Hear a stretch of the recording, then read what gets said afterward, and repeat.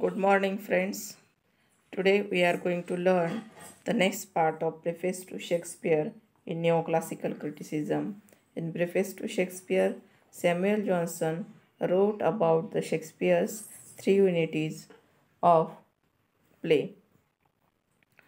In the previous part, we learned about the merits and demerits of Samuel Johnson's preface to Shakespeare, and he presents there Shakespeare's merits and demerits and drawbacks of the playwriting in Preface to Shakespeare. Now we are going to learn about the three unities of Shakespeare. Shakespeare's disregards of the unity is not a defect.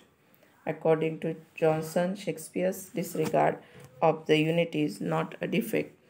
One practice in Shakespeare's writing of dramas which is regarded by critics as a defect but which is not really a defect is his neglect of the unities of time and place.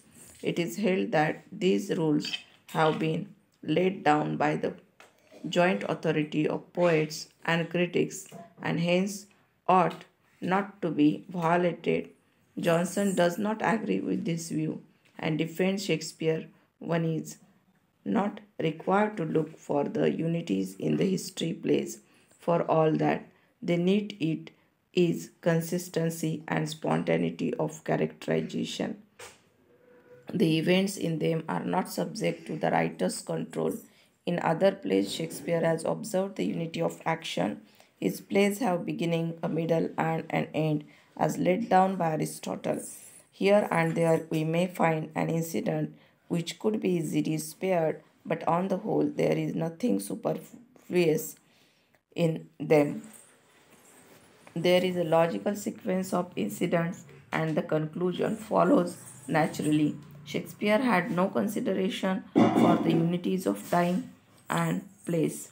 In case the issue is closely examined, it will be found that unlike the unity of action, the other two unities are not essential.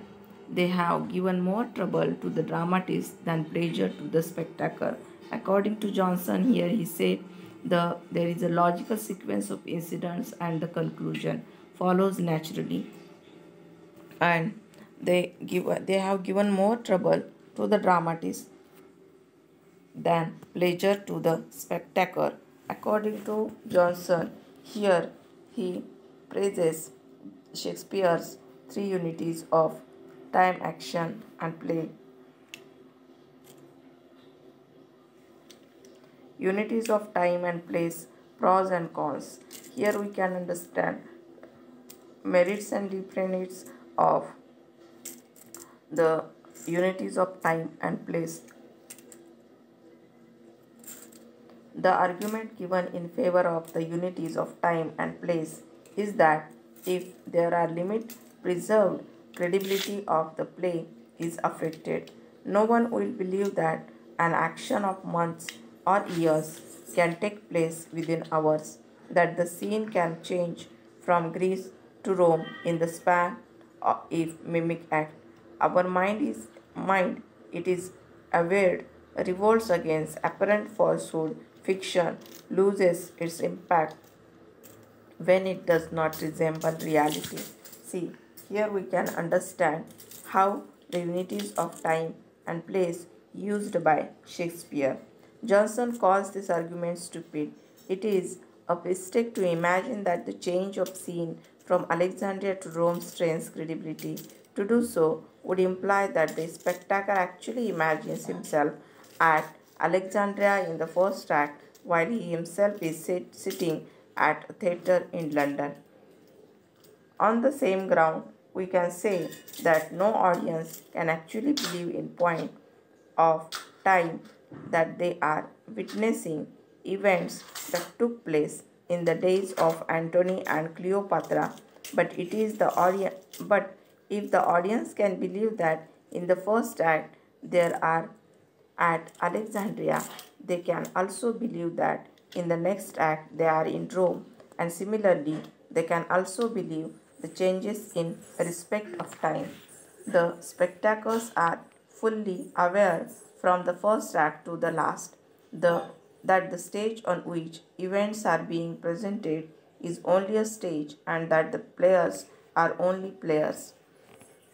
So, here also Samuel Johnson said no audience can actually believe in point of time that they are witnessing events that took place in the days of Antony and Cleopatra.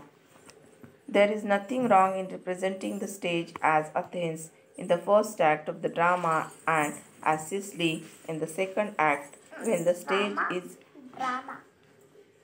only a stage and neither Athens nor Sicily if we accept that the unity of place is dispensable it is easy to accept that an extension of time is also valid.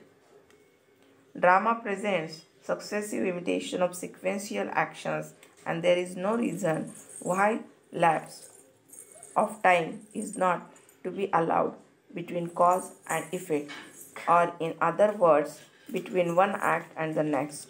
The belief of the audience is not adversely affected by lapses of time between acts See, here we can understand how there is a successive imitation of sequential actions and there is no reason why lapses of time is not to be allowed between cause and effect. The credulity of the audience, dramatic illusion. The fact that the spectators do not believe that they are witnessing actual events taking place and actual at actual places does not mean had they are totally incredulous of the various happenings on the stage. They take the dramatic performance not as reality itself but as, as a just representation of a reality. The evils and vices that they see on the stage are not believed by the spectators to be real evils, but they are accepted as evils to which they themselves may be exposed if there is any illusion, it lies in the fact that the spectator fancies himself unhappy for a moment when he sees the actor represent unhappiness. It is not that the spectator believes the actor to be unhappy.